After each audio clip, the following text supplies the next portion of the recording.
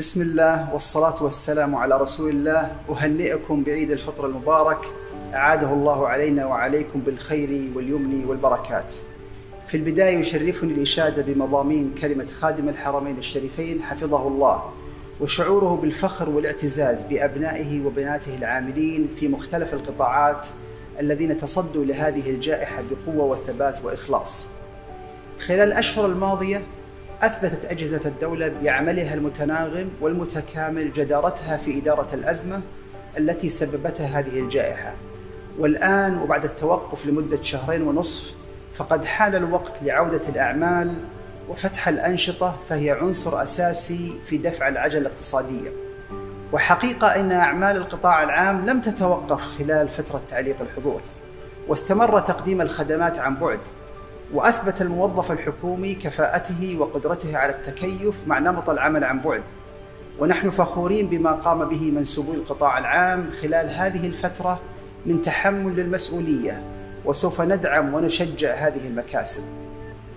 وسوف تكون عودة موظفي القطاع العام يوم الأحد الموافق 8 شوال واستئناف حضورهم لمقرات العمل بشكل تدريجي على أن يكون الحضور بشكل كامل في تاريخ 22 شوال وذلك بالتنسيق مع جهات عملهم. ولضمان الانسيابية في الحضور والانصراف قررنا تطبيق نظام حضور وانصراف مرن لسلامة العاملين في الدخول والخروج من وإلى مقرات العمل بحول الله.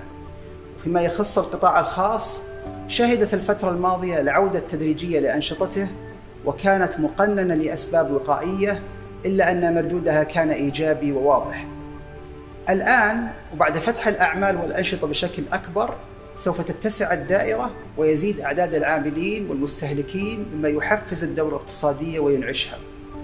إلا أن الموازنة بين متطلبات الوقاية الصحية واحتياجات الأنشطة الاقتصادية مطلب مهم لهذه المرحلة وهذا يعتمد على وعينا جميعا وإدراكنا للمسؤولية.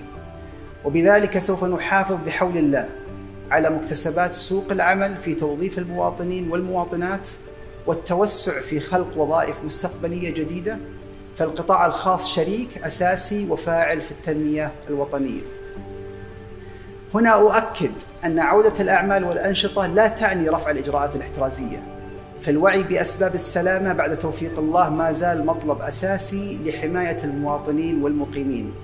لذا أوصيكم جميعا بالاطلاع على الإجراءات الاحترازية والتدابير الوقائية الخاصة بالقطاع الذي تنتمون إليه والتي عملت عليها وزارة الصحة ومشاركة جميع الجهات المشرفة على القطاع والالتزام بها. فالإجراءات قد تختلف من قطاع إلى آخر. ختاما لا يسعني إلا أن أتقدم بالشكر الجزيل لمقام خادم الحرمين الشريفين وسمو ولي عهده حفظهم الله على رعايتهم ودعمهم اللامحدود خلال الفترة الماضية والذي ساهم بلا شك في التخفيف من الآثار السلبية للجائحة. وبهممكم سنعبر هذه المرحلة. حفظ الله بلادنا وولاة أمرنا وكفانا الله وإياكم الشر. والسلام عليكم ورحمة الله وبركاته.